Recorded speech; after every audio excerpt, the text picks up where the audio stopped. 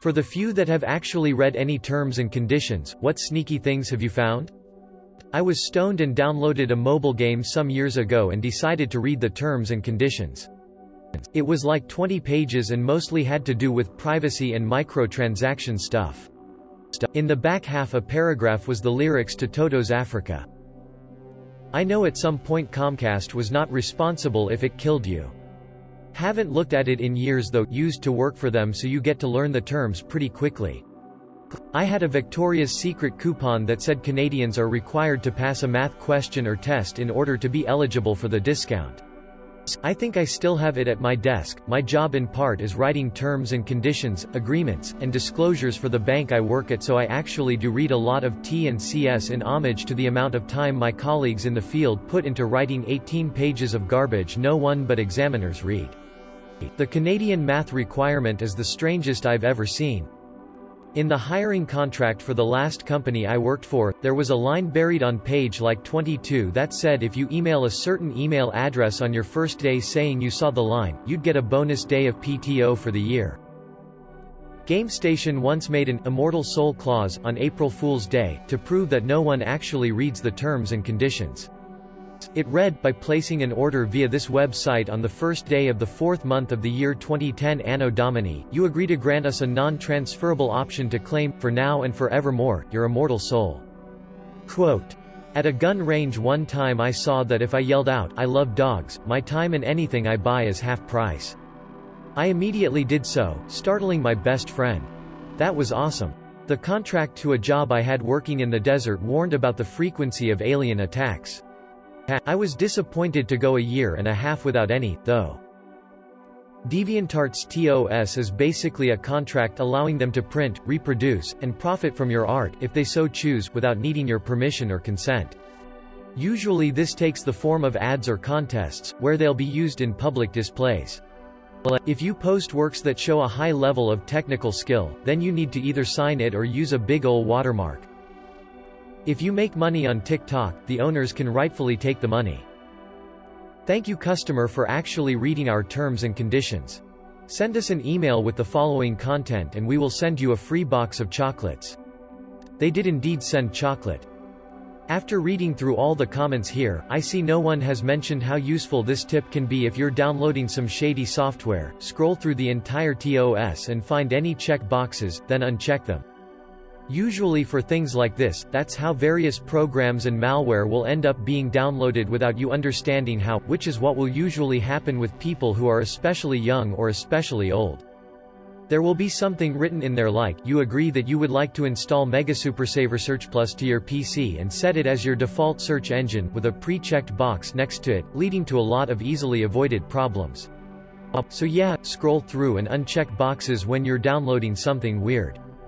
You don't even need to read the terms, just be aware what could be tucked away inside them. I don't have a story myself, but I found this article about a man who won a $1,000 giveaway that was hidden in the EULA of an app. The 3,000 people who installed the program before him didn't bother to read it. Back in the day when people legally acquired new music by buying CDs, one of the bands I listened to would hide nice little messages to fans in the copyright, legal fine print in the booklet that came with the CD. Sometimes there would be a small link to a hidden part of their website that had extra content. A while ago tilde 2011, there was a scam work from home service widely advertised all over Facebook and other places, promising enormous paychecks and a free trial. It was an opt-out subscription service as you might expect. Curious as to how the scam worked, I looked at their T&CS. There was a clause in there requiring you to pay $10,000 in compensation to the company if you filed a chargeback against their fees. Whilst that would never stand up in court, dealing with debt collectors who might conveniently offer to settle for a mere 3000 would be all sorts of hell.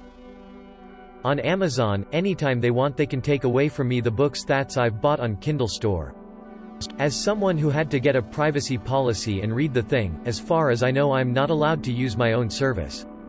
According to the legal agreement I got with myself and agreed to, in case I do know that I access the service against what's written in the privacy policy I should contact myself by email letting me know that so I can erase any private data I got on myself. If I refuse to erase the data I think I can sue myself. Send help. I'm a lawyer. Whenever undergrads tell me they want to go to law school, I tell them to read the entire iTunes terms and conditions, without skipping a single sentence. If they can't get through it, they don't have the discipline and attention to detail for law school. Sony can sue you for literally not updating your console software if you're connected to internet. There was a story contest from a theme park where your story could be published. But any story submitted would automatically be owned by the company and could not be used by you or others. So they could, 1. Throw your story in the trash and you still wouldn't legally own it anymore and can't publish it somewhere else too. They own your story so they can make money out of it without paying you a dime 3. They were not obligated to credit you as the writer other than mentioning it somewhere in the first publishing, after that it was fair game 4. They were allowed to alter your story as they saw fit without consulting you. He wasn't the only one who noticed, it was soon pointed out on social media. There wasn't really a backlash, but I didn't submit a story. IDK if this is super surprising, but I read the entire lease for my first apartment and apparently, I couldn't get out of my lease even if I died. Wanted to sign my kid up for cheerleading. Sat there and read the terms and agreement. Said something along the lines of, we are not responsible for any accidents that occur in the transportation of your child. My husband lost his brother in a school transportation accident and they initially tried to avoid the blame. So naturally that line gave us the heebie-jeebies and we just left. Turns out they were just a shady company all around. She now does cheer through her school. Amazon's AWS service terms contain a clause pertaining to a zombie apocalypse. No, really, greater than however, this restriction will not apply in the event of the occurrence certified by the United States Centers for Disease Control or successor body of a widespread viral infection transmitted via bites or contact with bodily fluids that causes human corpses to reanimate and seek to consume living human flesh, blood, brain or nerve tissue and is likely to result in the fall of organized civilization. It wasn't actually me, it was the manager I was interning with. He told me about how it was important to read everything, even the terms and conditions. When you go to an iPhone's license page or something else, I don't remember, it says that they won't take any responsibility to any shock you received from the phone if it were 5 mm away from you, unless you had something blocking it from your skin, like clothes, or a pocket protector. Pretty sure anyone who ever played the original Diablo also agreed sold their soul to the devil in the terms and conditions. The dev team of the video game Factorio is explicit not responsible if you stay awake all night long playing Factorio and can't go to school, work in the morning. Opening square bracket. WhatsApp, when it went full Facebook four years after purchase, sent out an Android update. The update said it was just adding the ability to give group chats a subheading. What it was actually doing was giving Facebook permission to take information. This option was enabled by default, of course it was, and you had only three months to notice this had happened before the option to opt out was disabled. I was late noticing this, but when I read the terms and conditions, the last line said something along the lines of, even if you opt out, Facebook and the Facebook family of companies will still take the data for training purposes. On deleted my account. They probably had my info by that point but fluff that garbage. Installed Signal. Something that I wish I read was on Fabletics online store. Apparently if you make any purchase they automatically sign you up to their VIP program which is a $50 per month subscription for VIP clothes. I made one purchase on their site, checked out like any other online store, and got my clothes a week later. Eight months go by and I notice a $50 taken out of my bank from Fabletics. I check my bank pretty often so I DK how I missed this, and it turned out to be a recurring payment for eight months. I called their support line and explained to the guy that I never signed up for their subscription and I never even received any sign-up confirmation emails or payment statements to know what was happening.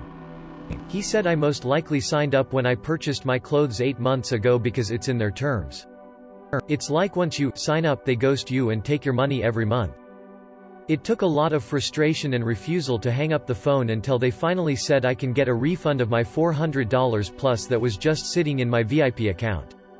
I was like clearly I was unaware of this because from the past 8 months I haven't made any more purchases on your stupid site, give me my money back. They finally refunded it all back.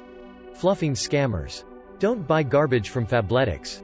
I still should leave an online review about it because after looking up Fabletics scam, it seems to happen to a lot of people. A job schedule app my company uses requires you to log in using the company email. To set this up on your phone, you have to give your company the rights to erase the contents of your phone remotely, probably in case you become a threat to the company. No thanks.